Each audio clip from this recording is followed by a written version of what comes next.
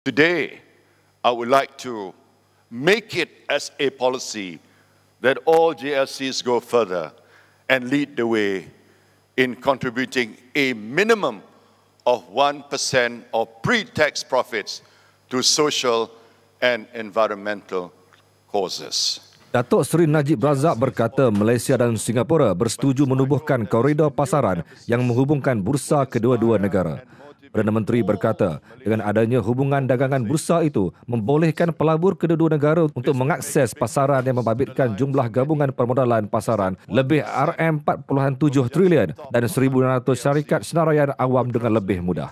Beliau berkata, pengaturan pengawal seliaan akan dilakukan oleh pihak kawal selia kedua-dua negara untuk membolehkan penubuhan pautan hubungan dagangan itu. by the country's relevant regulatory authorities to pave the way for the establishment of this trading link.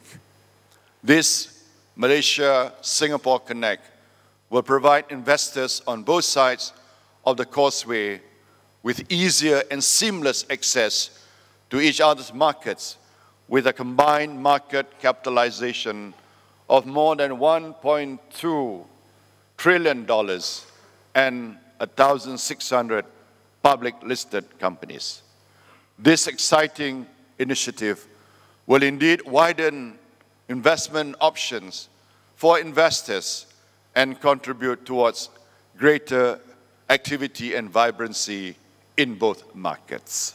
Beliau berkata demikian pada Simposium Pasaran Modal Dunia Anjuran Suruhanjaya Sekuriti Malaysia sebentar tadi. Najib juga mengumumkan duty stamp saham syarikat bermodal sederhana dan kecil yang didagangkan di Bursa Malaysia akan dikecualikan berkuat kuasa Mac 2018 untuk tempoh tiga tahun.